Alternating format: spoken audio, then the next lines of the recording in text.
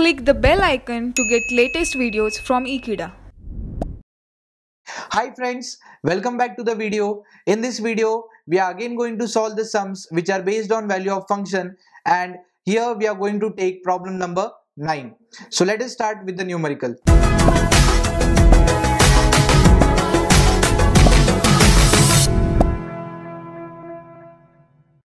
If f of x is equal to x square plus 1 upon x square, show that f of x is equal to f of 1 by x.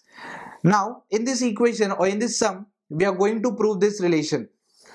So, the LHS will consist of f of x which is already given in the sum and f of 1 by x we have to find it first and then we have to check whether is it equal to f of x or not. So, let us start with the LHS.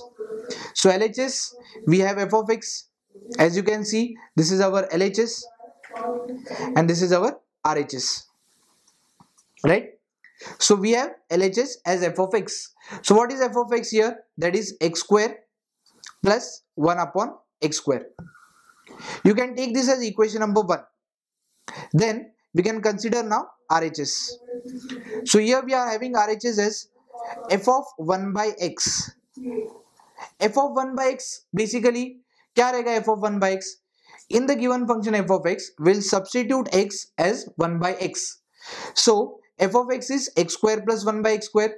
So wherever we have x we'll put there as 1 by x. So here we have x that becomes 1 by x. The power becomes 2 then we have plus sign.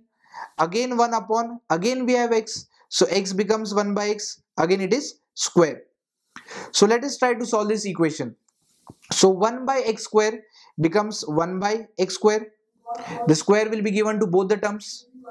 Plus 1 upon this is 1 square again 1 and x square written in the denominator.